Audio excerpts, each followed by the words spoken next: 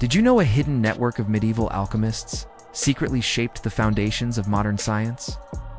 We imagine alchemy as fantasy-robed figures trying to turn lead into gold. But the truth is far stranger. Behind locked doors and coded manuscripts, medieval alchemists weren't just chasing treasure.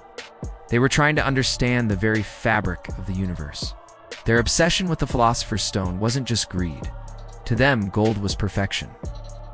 Transforming lead into gold was about transforming the self. It was science, spirituality, and psychology, centuries before those words even existed. Alchemy was dangerous and often illegal. Alchemists used symbols like dragons and lions to disguise chemical reactions, a secret language only initiates could read. And here's the twist.